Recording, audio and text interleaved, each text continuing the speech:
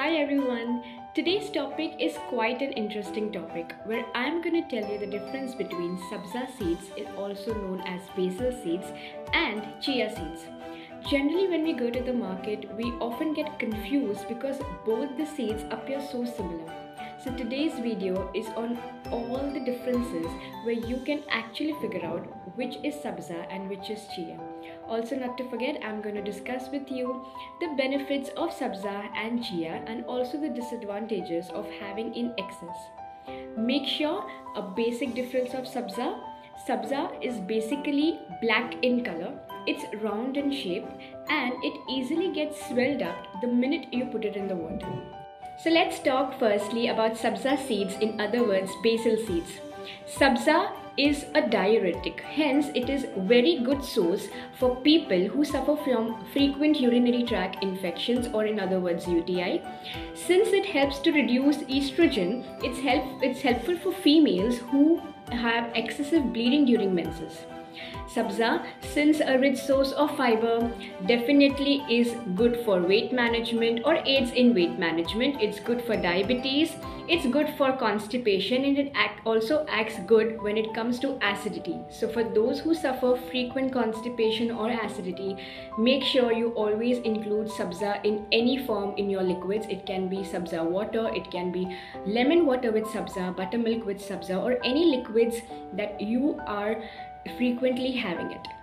Sabza also helps to keep your mood calm. So it's a natural coolant and helps it keeps your mood really well. Since sabza or basil seeds are rich source of omega-3 protein and of course fiber, make sure you do not have anything in excess because excess of sabza seeds can lead to diarrhea, vomiting, nausea, sometimes acne, acid reflux, abdominal discomfort and many other gastric troubles.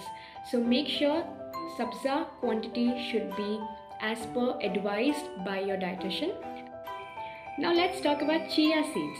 Well, chia seeds, the brother of sabza seeds, also has some positivity and some negativity. Let's talk about positivity.